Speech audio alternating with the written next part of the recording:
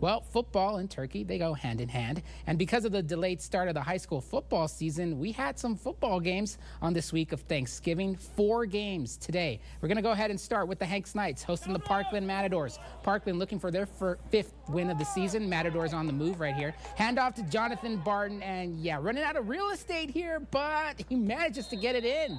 Parkland goes up 35 to nothing in the second quarter. They cruise to a 56 to 14 victory over the Knights. We had a good one between Horizon and Ysleta. This one going down at Ysleta. Game tied at 35 in the third quarter. Ysleta's Adrian Jaques Castañeda with the keeper. Then in the fourth quarter, game tied at 49. But you see it right there, Scorpions knocking on the door, and that's Jacob Gihasis going to knock it right down. That would be the difference as Horizon wins 56 to 49, the final. We had an early morning kickoff over at the SAC, Montwood taking on Socorro. Now, by the time our photographer got there, the game was pretty much over. As you're going to see, the Rams going to tack on six more points right here. Joshua Ochoa to Yamil Oaxaca. Rams go up 49 to 7 in the second in the second quarter. Rams win big. Final score 56 to 7. Over on the west side, it was Coronado hosting Eastlake.